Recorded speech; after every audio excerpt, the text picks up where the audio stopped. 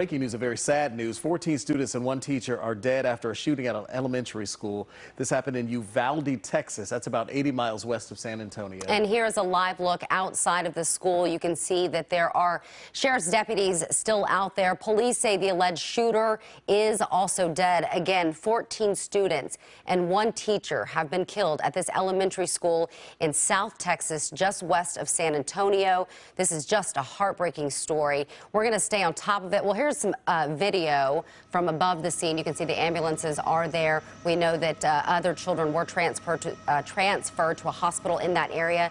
Uh, and some were transferred to a hospital in San Antonio. As soon as we get more information about what happened at this scene, who this shooter was, who these victims are, we, of course, will bring that to you right here and online at CBS17.com.